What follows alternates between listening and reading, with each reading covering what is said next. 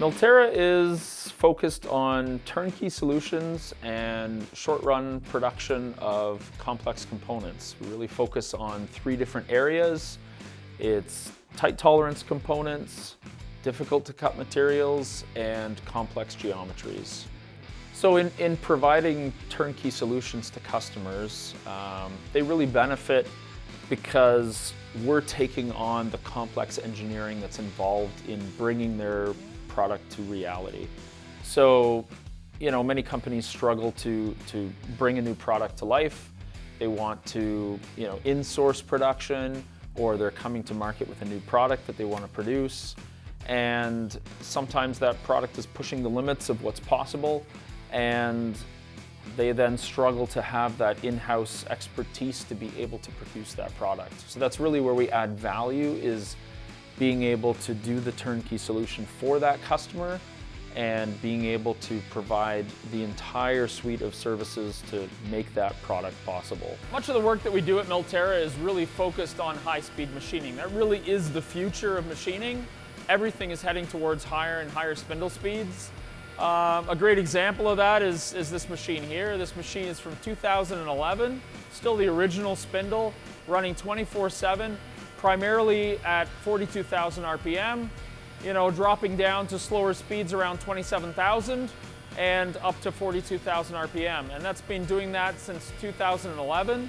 And that's the original spindle in there. And that's a true testament to the quality of the RegoFix Power Grip system. This only runs RegoFix Power Grip tool holders so, you know, that incredible balance of those holders is what's enabled this spindle to last as long as it has. So in, in, in recommending all the various aspects of a turnkey solution, um, you know, if we narrow in specifically on tool holders, um, you know, we're looking for the best solution for the customer that will provide them with the best tool life, you know, based on vibration dampening, run out, and consistency uh, in, in production. You know, how consistent are those holders? Are they going to provide that, that run out, you know, that low run out for long periods of time over the production of that component? And when we've done our testing at, at all the various brands that, you know, that are produced, all the various brands that are available, um, we really found that RegoFix Power Grip provided the best solutions for our customer. Um, you know, it, it, it, it provided all of those things that I mentioned, but then also provides tremendous flexibility in terms of the use of those tool holders.